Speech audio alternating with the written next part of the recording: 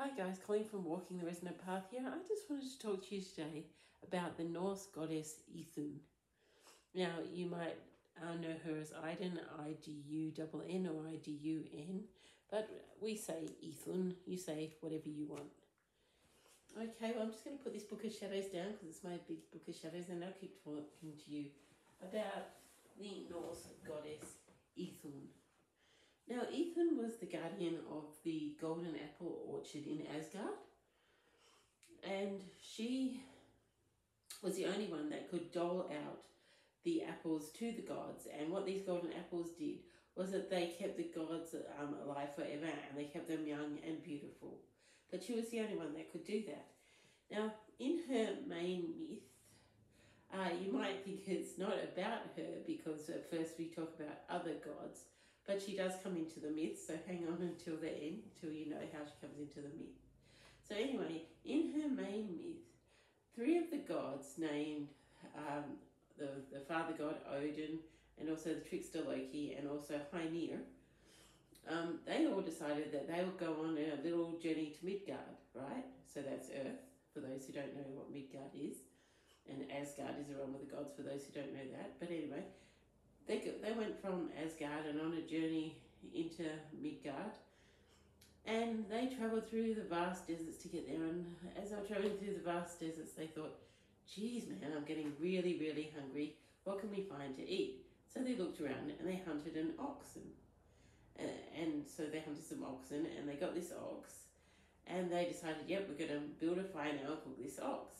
So they did that and they tried to cook this ox and they had this raging fire and they couldn't understand why this ox was not cooking and they're going why isn't this ox cooking? What is going on? The fire is raging it should be cooking. So then they thought hmm there's something fishy going on here. So they had a look around and they saw this big eagle watching over them perched in a tree. And they went no that's no eagle. That is uh, some magic being so they went up to this eagle, and the eagle knew and suspected. So it came down and said, "Okay, I admit it. I am the uh, storm giant Theazars, uh, or Thea. Sorry about this, Theazars, I think you say. And um, anyway, the storm giant said, um, you know, and I have enchanted that flame, so it won't cook your meat. They were like, "Come on, dude, we're hungry." look, Storm Giant, you know, unenchant the flame. And he said, look, I'll unenchant the flame and allow the meat to cook, the Storm Giant said, but um, you have to give me as much of that meat as I want to eat. So the three gods discussed and they, they all agreed and they said, okay, we'll give you as much of that meat as you want to eat. So they gave the storm, so the meat cooked and just as they were about to give the storm giant some of the meat to eat, Loki, who was a trickster god, grabbed most of the meat and gobbled it up. And so this obviously angered the storm giant. He was furious, Theazars. And he was like, how dare you, Loki, do that? And so he grabbed Loki by his talons and he dragged Loki across all these jagged mountains and rocks and really injuring Loki and hurting him. And so Loki was begging him, saying, please let me go, please let me go. And he's saying, I'll tell you what, Loki, I will let you go, but you have to do something for me. And what you have to do is you have to lure Ithun out of her apple orchard and away from those apples and you know get her to come out and then so I can have some apples and I can live forever and also I can have her because she's the only one that can give the apples and the gods can't have any apples. And so he said, all right, I'll do it, I'll do it. But just let me go. So he let Loki go and Loki went back to Asgard. Now, the love of uh, life was Bragi, the god of poetry but and music, but sometimes he went off on little journeys to play his music around the place and go on a little journey. And so one day he was on one of his little journeys and Loki heard this and knew that Ithun was alone. So he went to her golden apple orchard and told her that there were some fantastic apples that were just like hers down out of Asgard down the road and that they were more powerful than hers and she should come and see them. And she didn't believe him. She goes, yes, I definitely have to see this for myself. If there are apples like mine, I need to see this. So then she went out of her apple orchard and out of Asgard. So then, just when she was out, um, the storm giant had been watching, and in the form of an eagle, he came down and snatched up Ithun and took her away into the mountains.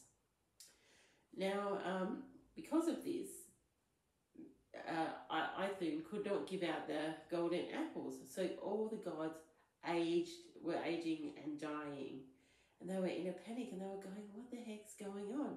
And at the same time, Ithun was Ithun was so sad because she was away from her most beloved Bragi for too long, and her most beloved apple orchard, and she knew that the gods would be dying, so she was very sad and and depressed.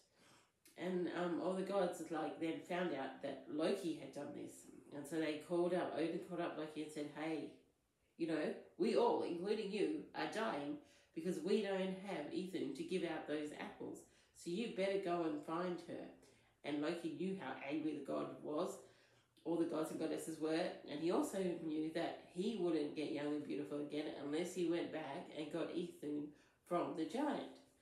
So then he turned himself into a falcon and he searched the land and he eventually found Ithun.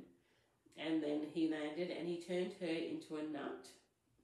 Some say he turned her into a little swallow bird, but most say he turned her into a little nut.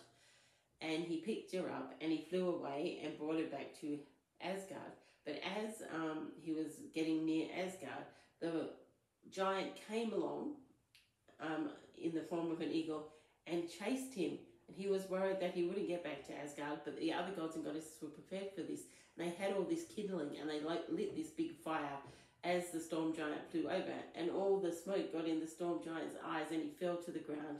And then the gods and goddesses killed him so that he wouldn't be able to steal Ithun again and steal their beauty and youth and longevity again.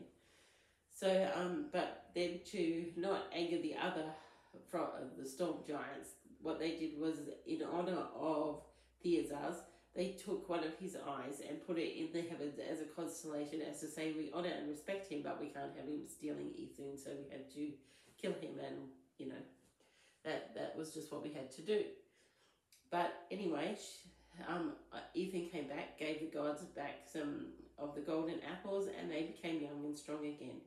Now, Ithun is considered a personification of spring and also the changing of the seasons because it is said that when she was um, kidnapped, she was um, that that's when autumn comes, and then when she was sad and depressed because she was away from Bragi and her orchard, that is when winter comes, and then when Loki rescues her and brings her back to Asgard, and she gives the gods the apples again, and the gods are starting to get strong again. That is the renewal of spring. And then when the gods are back at their full strength, then summer comes in all its glory. So that's the story of Ithun. Now, um, Ithun's colours are gold, red, and green. Her incenses are like you can get an apple blossom incense or any sort of apple or fruity type incense, or wood incenses like cedar or um, sandalwood, pine, things like that. Uh, also, any sort of aniseed or licorice scents are said to be scents for Ithun. Okay, um, also, what else have I got? Uh, as I said, she's goddess of spring, the goddess of renewal, the goddess of rebirth, of working with the life, death, rebirth cycle. She's goddess of youth and beauty and agriculture, of vitality. She's also connected with the runes because in another myth it was said that she actually what happened actually happened was what she fell from the tree Yggdrasil, which is the tree of life in Norse mythology, and she fell down into um, hell and she was cold and she lay there frozen and then when spring what happened is uh, another god found her and wrapped her in a wolf blanket, a white wolf blanket, and she became warm. And as she warmed up, then spring came again. So that's another myth. So like her animal is a wolf. Her birds are is sparrow and a barred owl. Um, she is also the goddess of abundance, growth, fertility, longevity, as I said, youth, beauty, and the runes because of her association with Yggdrasil. And also strength and self empowerment, because even though she didn't rescue herself, she did refuse to give the giant any apples when he begged for them. She said, no, no, apples are not for you, just for the gods. Um, the incenses, oh, I've already been through incenses, but I also I forgot to say you use frankincense as well. Um, the trees, of course, apple trees and all fruit trees and any orchards. If you can be in an orchard, then that's definitely connecting with um, Ithun. Uh, also, uh, obviously is one of her trees, ash tree and a rowan tree. Uh, objects are apples and fruits. Uh, the, the rune Wunjo, um, others say the rune Gebo, but I say the rune Wunjo, and that I've got Wunjo on my altar. Um, also, any sort of wooden things like wooden boxes or any wooden items that you made, any nuts or spring flowers or baskets, because it said that she carried her golden apples in a basket and handed them out. Um, magic you can do, uh, like spells using apples, rites using apples, abundance spells, fertility spells, love spells, of course, rune readings, working with the life death rebirth cycle, healing magic, healing spells, animal message from messages from the swallow, the wolf, the owl, the barred owl especially, um, strength and courage spells, self-empowerment work and journaling. Uh, flowers are spring flowers, like, um, as I said, any apple blossoms, fruit tree blossoms. Foods are apple, fruit cider, or fruit cider nuts. Um, as I said, her consort was bragi and her herb was rosemary. Her crystals are, you can use like carnelian and uh, red jasper for strength. You can use things like jade for abundance. Uh, you can use any stone that you um, associate with renewal. And what else? Uh, activities you can do. You can go picking in apple orchard. You can go fruit picking. You can make apple candle holders. You can make wreaths that are decorated with dried apples. Uh, as I said, anything, anything to do with apples or fruit, baking with apples or fruit today would be really good. Um, and also, uh, any another crystal I wanted to say could use is obviously gold. Gold is her main crystal, or anything like gold, like pyrite. I just wanted to tell you a little bit about the Norse goddess um, of the guardian of the golden apples, Ithun. And I will show you my altar and a close look at my Book of Shadows in another video. I hope you have a lovely day and do whatever resonates within your soul. Bye now.